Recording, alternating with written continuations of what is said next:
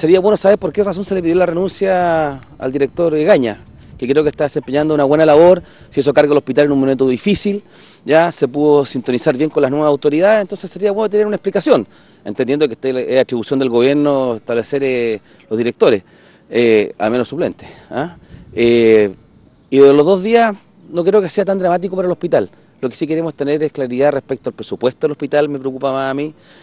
saber cómo va la construcción del hospital y si las nuevas autoridades se hacen cargo de la ampliación del Hospital Claudio Vicuña. A lo que nosotros nos preocupa es justamente mejorar la calidad de la atención eh, de eh, todos los sanantoninos y de la gente de la, de la provincia. Lo importante es que está garantizado justamente la construcción de un nuevo Hospital Claudio Vicuña con 45 mil millones de pesos. Eh, también que más allá de, los nombramientos, que es parte de la facultad que tiene el Ministerio del Servicio de Salud, independientemente de, la calidad de la gestión que haya desarrollado el, el doctor Egaña, que a mí me parece eh, bien,